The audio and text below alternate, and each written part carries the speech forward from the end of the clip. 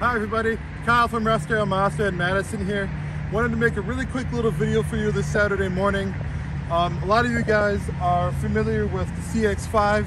This is our number one most selling unit. Um, you know it, you love it. And then you have the CX-9, the full uh, 67 passenger vehicle. And then you might even know the new one, the CX-50. This is our new uh, crossover utility vehicle. Now, a lot of people ask me what the main difference between these three models is, and the answer is simply just size.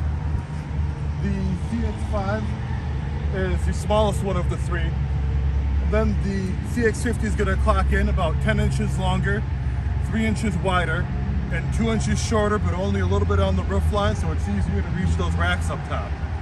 And then, of course, the biggest one is the CX-9. As we said earlier, you got the full three-row capacity in there. If you have any more questions, I'd be happy to help you out. Please book your appointment today.